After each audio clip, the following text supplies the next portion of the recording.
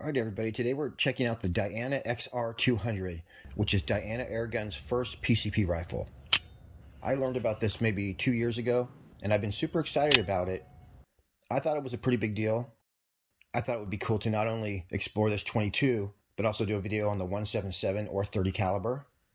But unfortunately, I've reached out to Diana Airgun's USA distributor quite a few times, and they won't return my emails. So I'm looking into starting a Patreon account so that in a situation where we can't get a hold of the manufacturer to help promote a popular new gun, I could just go ahead and buy it and we'll put it on Patreon.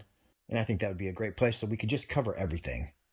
But as of now, at least we do have Pyramyd Air that helps out with this channel. So thanks to Pyramyd Air, we're going to get to see the 22 caliber. For more information on the Diana XR200 PCP air rifle, shoot on over to pyramydair.com once again, they're bringing you this video, so you have them to thank. There'll be a link in the description.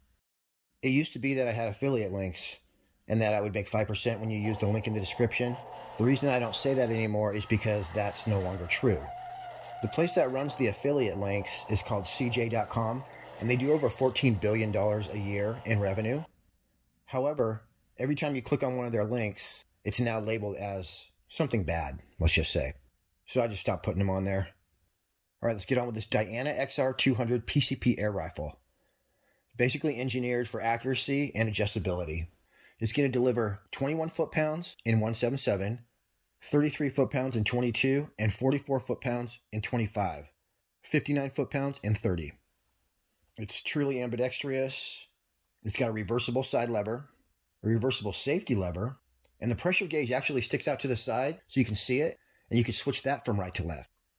One of the cool things about the Diana XR200, besides having an Alturos regulator, which are very nice, it just has a fill pressure of 200 bar. So it's easy to fill with a hand pump, quick to fill with a compressor or tank. And the reason it's so accurate is, as I said, due to that Alturos regulator, but mainly it's a fully shrouded Lothar Walther barrel. So it's got a match Lothar Walther barrel, which has a match style barrel clamp for added stability. We got an 11 millimeter dovetail, optics rail, a Picatinny rail under the forearm so you can attach your bipod. The synthetic version right here looks like it's OD green. And both sides of the grip and forearm have textured rubber inserts, so it's going to give you a good hold in all conditions. It says it has a fully shrouded barrel, so it's probably going to be quiet. In the smaller calibers, the stock is ambidextrous. Air tube capacity is 280 cc's. It's got adjustable power level screw. So adjustable power, that means you can tune it. The magazine capacity 177 is going to hold 14 12 and 22 caliber, 10 and 25 caliber, and the magazine is going to hold 8 and 30 caliber. Got a two-stage adjustable trigger.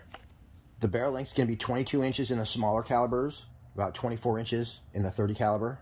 Overall length of 43 inches. It weighs 6.6 pounds in the synthetic. Includes one magazine, one twin shot tray, which is like a single shot tray, and a rifle case. Nice. And of course, it's made in Germany. Another reason it's so accurate.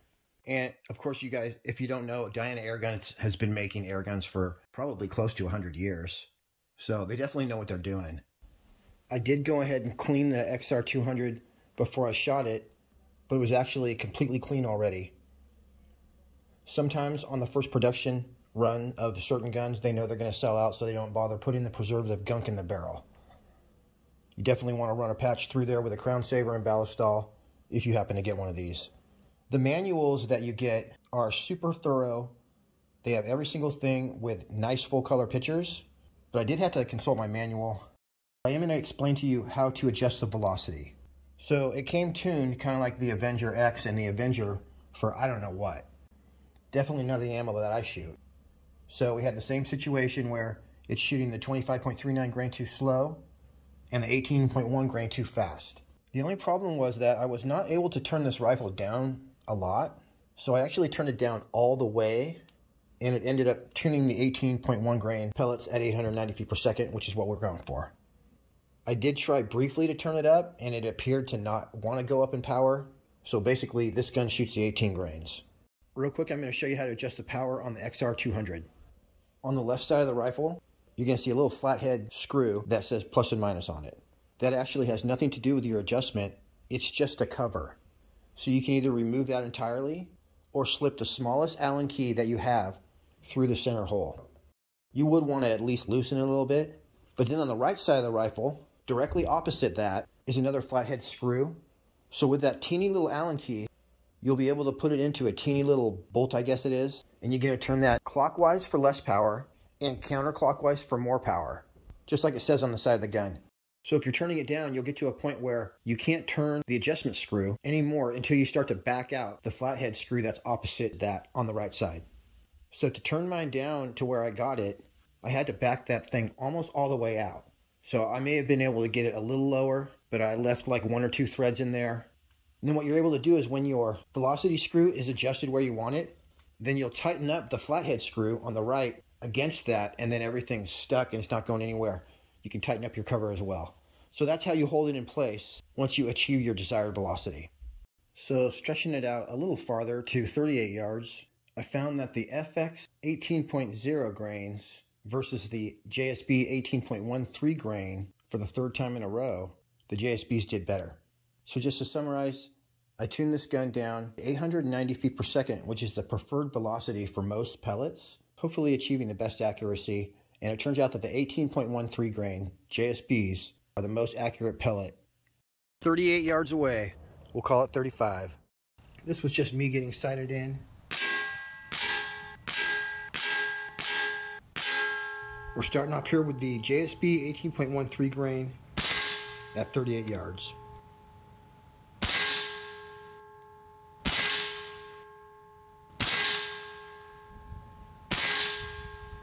Oh. Falaya.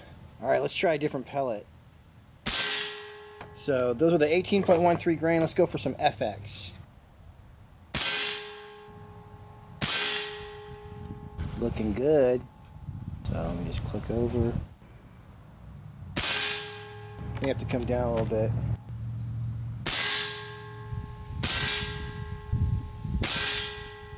There it is.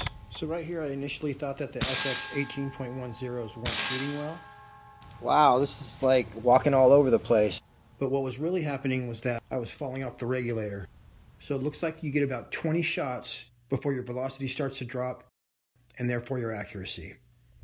As long as you're on that regulator though, the XR200 shoots awesome.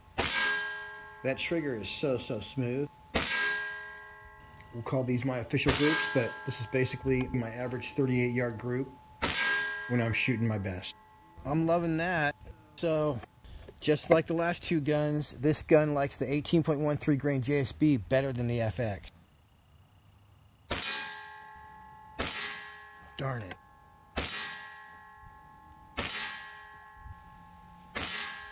This thing's pretty awesome.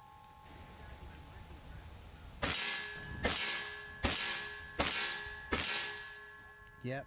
All right, so we're just about to fall off the regulator. Now, if I were to keep shooting, I'll just show you what's going to happen. 879, see, we're about to drop off. I think we definitely found our pellet, though.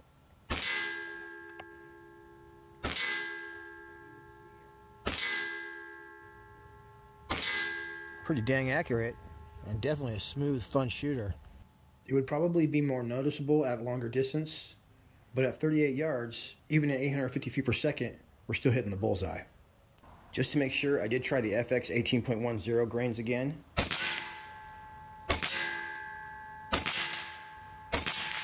And sure enough, damn it. They put a couple outside the group, and then I switched back to the JSB 18.13s, and boom, right through the same ragged hole.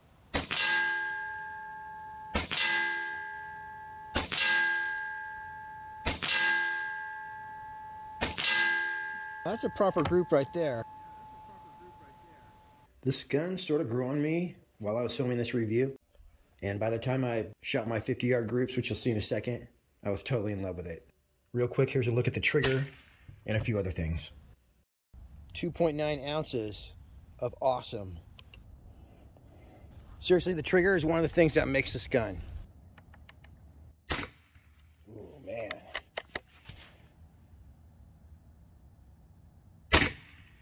Just awesome trigger. All right, as far as single shot loading, I'm not sure what's going on with that double tray, but This is extremely easy to just reach your finger in there. That's literally over an inch wide. So I've just been single shot loading this whole video. Just put it right in the end of the barrel and close that sucker. Okay, one thing I want to address is I said I couldn't turn it up anymore. So this is down all the way. Let's say that I came over to the left side and made this be out like a quarter inch and my little adjustment that's in there, I adjusted it all the way out. It's uh, very likely that I could increase the power. So I may try that at the end of this video. I'll tell you why I love shooting these 18 grains over the 25.4 grains is because you get almost twice as many, okay? 500 pieces versus 300. 14 grain is basically what a Crosman Premier is. So that's already heavy. All right, we got the XR200 set up at a very special. 50 yards away, perfect. All right, we got a full tank, although the original Diana website said that you could fill this to 250 bar. Do you want to practice group right here? Boy, it is pretty hard to see. Not a lot of light coming through this.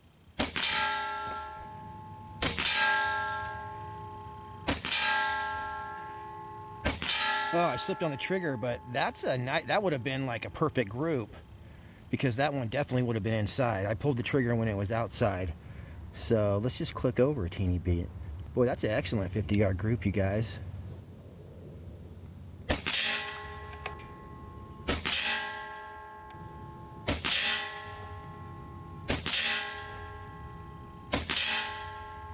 That's it. That's good enough for me. That's a good as 50 yard group of just about any gun, you guys. Look at that, you guys.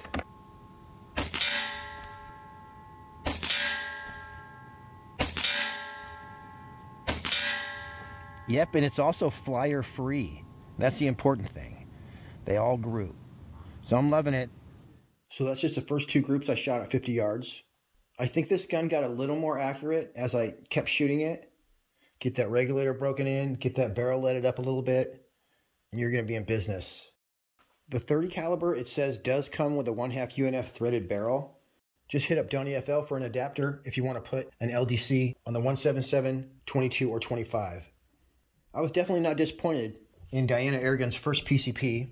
I would describe it as lightweight, obviously accurate and reliable with that Lothar Walther barrel, and a pleasure to shoot. Very smooth shooter, really no recoil or vibration, just that clean, crisp trigger pull. Definitely a fun gun to shoot. Here's a sound test. My 22 was a little bit loud.